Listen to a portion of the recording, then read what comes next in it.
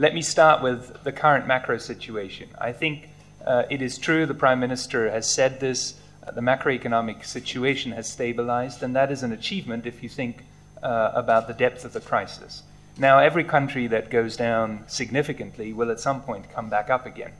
And for us, the main worry, or for us, the main concern, uh, perhaps better, is how, how does the medium term growth path for Ukraine look?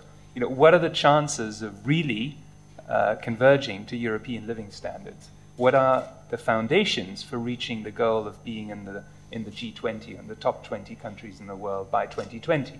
That's really what we should be focusing on rather than whether this year's growth at 4.5% and next year will be 5 I think Ukraine can grow 8%. We've said so publicly.